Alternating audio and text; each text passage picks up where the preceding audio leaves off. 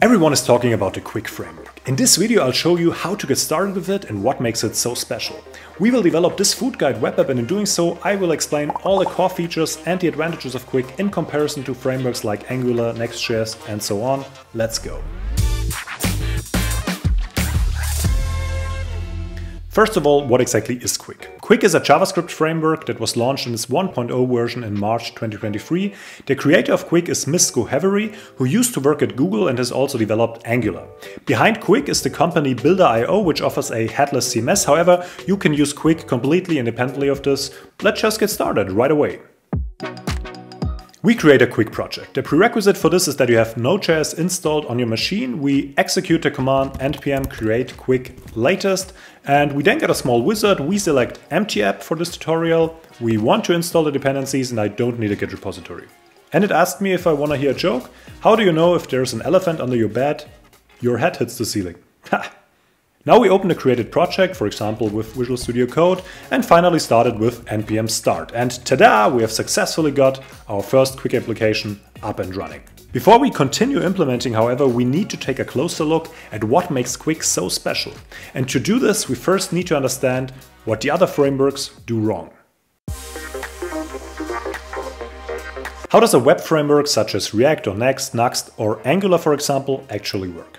When a website is requested, the client receives an almost empty HTML document, which essentially only contains script elements and links to CSS resources. These are then loaded, executed, the component tree is built, the DOM is manipulated, views rendered, and so on. You can then interact with the application, a classic single page application. The problem with this approach is that the complete code associated with the current page, and in some cases even the complete application code, must be downloaded before the user can interact with the application. This means that the larger the application, the longer the initial loading time. And in the past, this has increasingly become a problem for many companies that have built large applications. This approach does not scale. The loading time increases proportionally to the complexity of the application. The user waits a few seconds and sees nothing. To tackle this, the big frameworks then reacted. Angular, for example, has introduced server-side rendering. In this case, a Node backend executes the application and renders an HTML document that looks like the application should look. This is then sent to the user instead of the empty HTML document.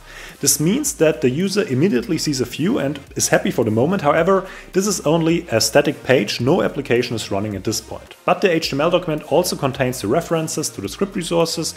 This means that the client then downloads all the code it needs in the background, executes the code and creates a state, binds event listeners to HTML elements, and so on. This is called hydration. Then the application is ready to use. You may have experienced this when you go on a page and click on a button or other elements and nothing happens, and when you click again a few seconds later it works. This is probably such an approach of server-side rendering and your application was not yet hydrated. Overall, this solution is somehow better for the users. They quickly get a view that they can look at, the application loads in the background, hydration occurs, and then the user can interact with the application. However, the whole approach also means that the application is basically executed twice. First on the server to render the initial view, and then exactly the same thing happens again on the user's computer to actually initialize the application. So somehow it is not an ideal solution either. In addition, the users see something immediately, but it can still take a few seconds before they can interact with the page. Qwik does things differently. It does not use a hydration approach. With Qwik, we have also a Node server which renders the view in the backend and sends it to the user. However, this HTML document also contains serialized data such as the application state, component boundaries, event listeners, and so on. In principle, everything that is needed to start an interaction immediately. This serialized data can also be seen in the page code. This is contained in comments and HTML attributes. Of course, Qwik also needs some JavaScript which it has to load. However, it does not eagerly download the complete code but only a very small script. It also does not have to execute the complete code and create a state as this is already embedded in the HTML. It does not have to bind many individual event listeners but sets up one global event listener. This means that interaction with the application can start immediately. Qwik calls this resumability. The user can resume execution directly from the point where the server stopped. This means that the execution is paused, so to speak, shifted to the client and continued there. Very little data needs to be downloaded and very little needs to be executed. At some point, however, a Qwik application also needs more code from the backend, and this is then loaded lazily as required. I click on a button and only then is the code that is to be executed during this interaction loaded. Qwik refers to this as streaming of JavaScript. Lazy loading can sometimes be difficult to implement. The nice thing about Qwik is that as a developer, you don't have to worry much about it. It simply works like this by default. Code is split automatically, lazy loading is performed automatically. With Qwik we often only see a dollar sign as the suffix of a function. This tells me as a developer that the Qwik optimizer can split the code here into smaller chunks and these are then only delivered to the user when required. Let's take a look at this with a simple example. In the application we have created, we add logging instructions to the main page to see where they are executed and when. First we write a logging in our component. That will only be executed in the backend and there is also a button with an onClick event that also logs something. We can immediately see the hello world from the backend because the application is hot reloaded in the background in the browser. If we look at it in the frontend, we see nothing in the console at first. The backend logging, this code is only executed on the server and not again on the client. The application in the browser then just resumes. And as soon as we click on a button, the frontend logging is executed. And the code for this logging is loaded lazily. We look in the network tab and refresh the page again. There are two initial JavaScript calls with the basic functionality of the framework, and only when the button is clicked is further JavaScript code downloaded. And here we see the logging instruction. This code is only sent to the client when the user needs it. But now let's finally get on with our little food guide app. So that we can concentrate on Qwik for this tutorial, we install Tailwind for the styling. Then we can simply use the corresponding CSS classes. We install Tailwind and initialize it to generate some config files. In one of these files, tailwind.config.js, we add an expression so that Tailwind recognizes our template files. Then we add three Tailwind directives to the global CSS file and then we are ready to use Tailwind in the project. A brief overview of the folder structure in a project. There's of course a node modules folder that contains all dependencies, such as Tailwind. There's also a public folder containing public files, such as images, which are then available in the root of the app. The SRC folder contains Qwik components, routes, styles, etc. One component already exists, router head, which contains HTML for the head element. There is an index route, the page we've already seen, and a layout for it. We will come to that later.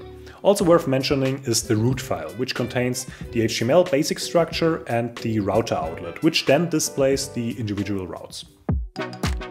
Routing in Qwik is file system based and therefore similar to Next.js.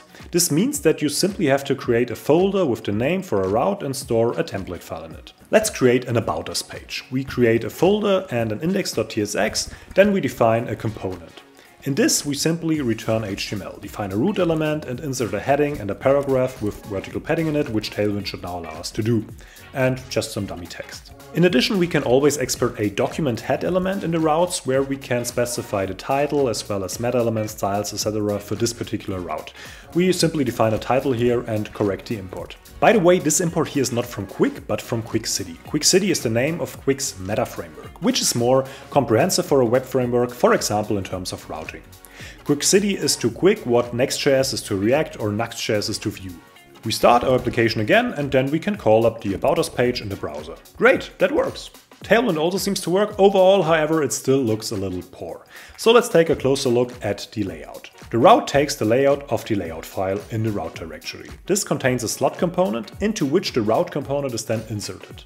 Otherwise, the layout does not yet contain any HTML. We change this and define a container with a maximum width, which we align in the middle. This layout now applies to all routes. We could also define our own layouts for specific routes and use them in subfolders or with a specific naming convention. However, one layout is sufficient for us here. But let's add a little more styling in the global CSS and we apply certain tailwind sizes to all heading elements there. Finally, we have a look at our root file and give the body a gray background color. We look at that again and it seems to work, cool.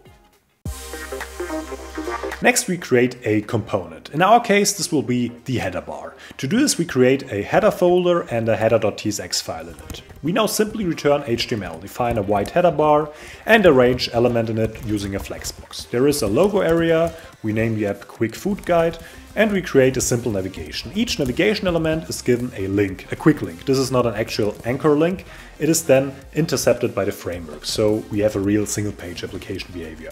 However, we can still simply define the paths to the root page and to our About Us page. The component is now ready, but of course we also want to use it. We add the header bar to the layout, so we go to the layout file and add it with an import.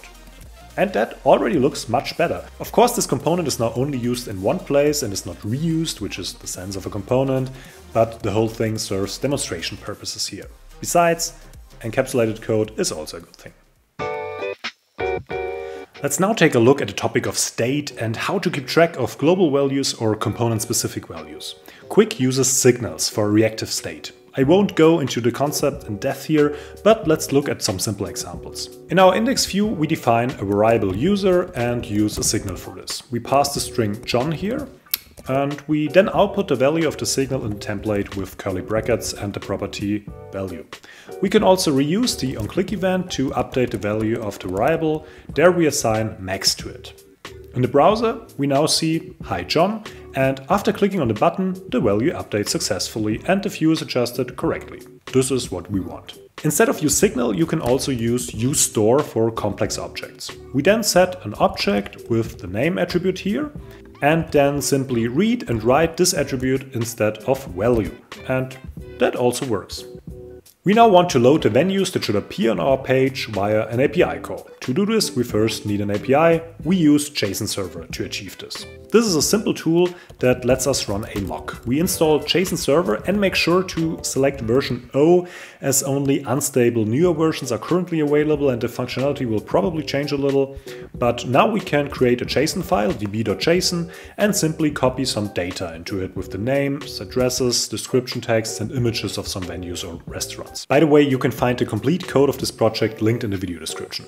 We start the endpoint via JSON server watch db.json and now a server is running on localhost and if we now go to slash venues, the individual restaurants are displayed and you can also query a single restaurant via an ID that you append as a path parameter. So we have the endpoint, but how do we fetch the data? In our index file, we first create an interface venue with ID, name, address, image, and description.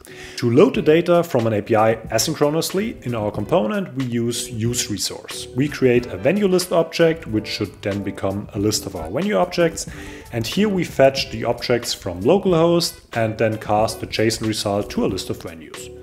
In the template, we output the result with the resource component. This is a convenient way of defining the different states. We pass our list as a value, we define an HTML element that should be output while the data is being loaded, and when the data is there, we simply output the number of data records to see if it works. And it does. Cool.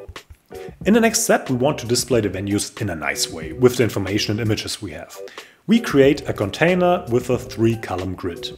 And for each venue, we create a div, uh, pass a key, the ID of the venue, which we need here in the iterator. And the venue tiles are white and have rounded corners. They contain an image that we display as the background image, we set the URL for this. And below the image we had elements for the name and the address. And it already looks great, but let's make it a little bit more complex to see how Qwik works when we want to change the view dynamically. We implement a simple search. To do this we create a search term signal. Then we use the track function to perform the API fetch again when the value of search term changes. We simply append the search term to the URL with the query parameter q. In the returned HTML we create a div element and inside of it a heading on the left and an input for the search on the right we use the onInput event listener to update the signal with the input element's value. We look at it in the browser and the search field has now appeared on our site and we can actually filter for these venues when we search for something, which doesn't have to be the name, but the address for example. That was easy. In this example we can now take a closer look at how Qwik minimizes unnecessary requests and execution time. When we refresh the page, in other words, retrieve it from the server, the server will make the API call, retrieve the venues and return the HTML to the client. This means we find the tiles of the venues in the HTML code of the server response. No additional data call is made from the browser to the backend. Only when we enter a search term in the client is a new data call made. This is because the track function checks whether the component stage has changed and this leads to a re-execution of the API call with the updated search term. This means that nothing is unnecessarily executed twice on the server or the client. And I think it's really cool that ready-to-use HTML comes from the server straight away. And search engines and bots will also like it if they don't have to wait until the DOM has been manipulated to pass the page. The DOM is only manipulated if something needs to change. By the way, if you made it to this point and you like this video, you would help me a lot to make such tutorials if you give this video a like and subscribe to my channel. Thank you so much. But now let's move on with some fine tuning. When we look at our application, it looks quite good. However, when we type something in a search, we always see a slight flickering during rendering. This is because the application fires a backend call with every keystroke. This is unnecessary. We can always wait a little. So we introduce a debounce. To do that, let's take a quick look at the concept of tasks. To put it simply, we can use a task to execute asynchronous operations during the initialization of a component or during a status change. And this works like this. We first create a second signal, search term debounce, and we now track the signal. For our task, we use useTask, which receives a tracker and a cleanup callback. And what we do now is to track whether the search term changes. And in this case, we simply set search term debounce with a small time delay. However, if the value changes before the time has expired, we cancel the timeout and we use the cleanup callback for this. And let's take a look at that. If I now type something really quickly, we only see one data request, another request for each keystroke. That was really easy. Finally, a brief introduction to the route loader. We can work with this if we only want to fetch data on the server side and don't need to reload something in the browser, which we have done with our search. We create a subpage for the individual venues for our app. In doing so, we can also see how we can work with path parameters. In a new venue folder, we create a folder with ID in square brackets. And we can now call up the page with slash venue slash nnid and we receive this ID as a route parameter.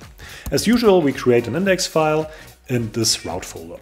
We now use the route loader. This code only runs on the server after navigation. And what we do here is very simple. We call our API and want to have a specific venue and for this we read the ID parameter from the path. This way we will retrieve a single venue as a signal. In the template we read the signal value and in the HTML code we simply output the image again and the description text of the venue. Now we link from our index page to the subpage. In every venue tile we add a link element and pass the ID. If we look into our app, this works very well. We now have subpages for every single venue. And here we can see again that there is no dedicated data call made by the browser. The subpage is rendered completely on the server, the client doesn't have to do anything else. That's it for this tutorial. If you have any feedback for me, please write it in the video comments. See you next time.